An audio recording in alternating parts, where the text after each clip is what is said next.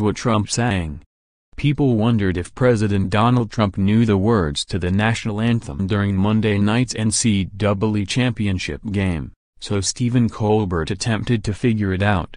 Now, we've got bad lip reading, the folks who put together those hilarious NFL videos, giving it a try, oh Don is a sugar packet. Right. More. Jazz's Rodney Hood smacked phone out of fan's hand after he got ejected Lane Kiffin on why it's silly to say Jalen Hurts should play another position Jerry Rice has a warning for Raiders players about Jon Gruden Dale Earnhardt Jr. loves the new look of his number 88 car Terrell Owens challenge teammates break down why it was good for him to leave the show.